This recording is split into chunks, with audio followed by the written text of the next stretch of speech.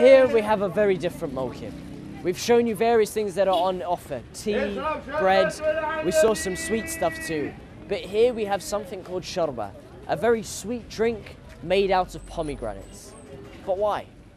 Why do they make this? Well, it's to symbolize and to put into remembrance of the young infant child that was killed, Abdullah al-Radi', the young baby Ali al-Asghar who was killed by Hurmala Mal'oon.